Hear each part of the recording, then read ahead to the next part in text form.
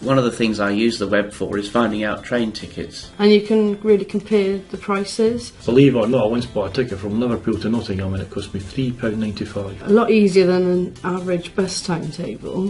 TheTrainLine.com. Single from London to Birmingham. About Thursday the 16th of August. Cheapest standard single. £49.00.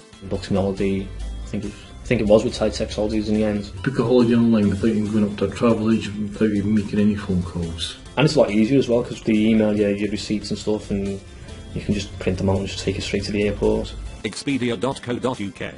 Create your trip. Flight and hotel. Leaving from. Edit. London. Going to. Edit. New York.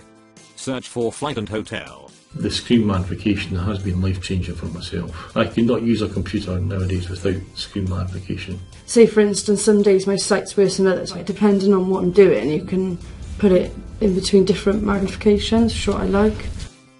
Magnifier on. 1.33. 1.5. 1.66. 1.8.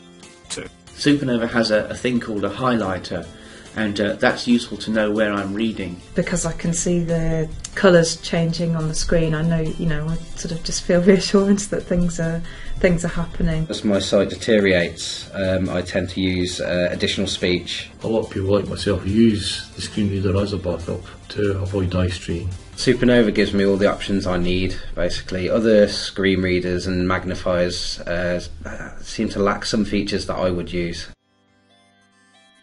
Dolphin Supernova. Web access. Your way.